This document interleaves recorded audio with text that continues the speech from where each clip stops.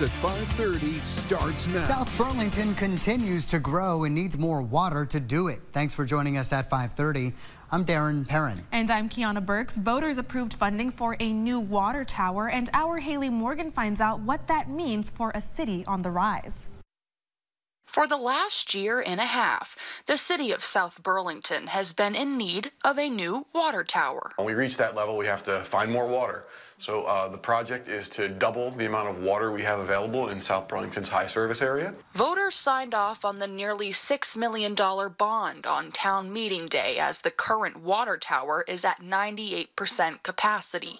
South Burlington's Director of Public Works, Tom DiPietro, says it could take the city about 20 years to pay off the current estimate of the project, but already has grants lined up to help alleviate the costs. We have one grant in hand already for a half million dollars. We are going to finish up our plans and get our financing in order uh, this summer and fall and bid it so the construction can start in the spring of 2025. Its potential, we could be done by that fall 2025, or it could extend kind of into the next year, it depends. According to DiPietro, the water tower is being built to meet future demand. It's estimated to meet the needs for the next 50 years of growth in South Burlington. City manager Jesse Baker says that's exactly the goal. We're anticipating that growth rate to continue at about 1.5% a year.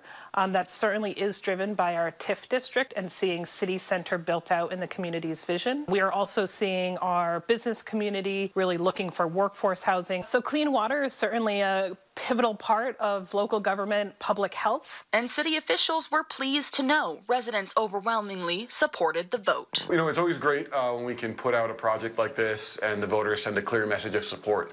Uh, it was over 70% positive vote for the tanks. Reporting in South Burlington, Haley Morgan, Channel 3 News.